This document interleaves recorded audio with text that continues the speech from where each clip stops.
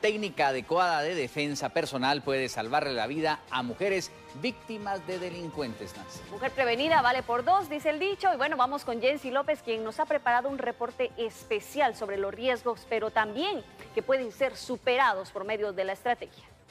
Los asaltos a mano armada están a la orden del día en Guatemala y en esta segunda entrega le mostraremos técnicas para defenderse de este tipo de ataques. Veamos. Cuidado, el asaltante puede llevar un cuchillo u otro tipo de arma blanca. Ante un atraco con arma blanca, nos van a abordar, nos paran en la entrada del vehículo, bajando de la residencia un comercial.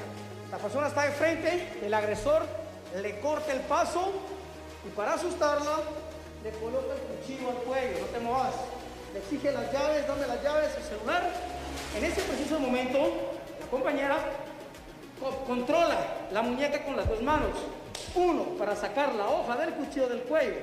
Dos, zona genital. Cuando el agresor baja por el golpe, lo rota a la izquierda, controla el cuello y desarma el arma. Pero puede tener un arma de fuego. Las balas le quitan la vida a muchas mujeres. Si usted sabe del manejo de las mismas, así puede defenderse. Nos van a cerrar el paso con arma de fuego. Cuando intentemos hacer un desarme de arma de fuego, sí, solo sí, mi vida está en riesgo. O ya no puedo hacer nada más, aplico un desarme. Y funciona el desarme cuando el arma tiene contacto con mi cuerpo, no a una distancia preventiva o media. El arma está en contacto. En este caso, apunto a la cabeza, va a colocar sus manos lo más cerca del arma.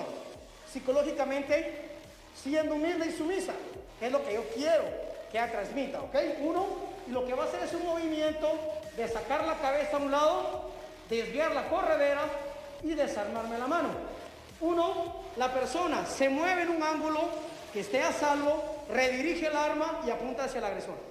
Mujeres, es momento de que nos preparemos para nuestra defensa personal y el Krav Maga puede ayudarnos a reaccionar a tiempo y correctamente ante cualquier ataque.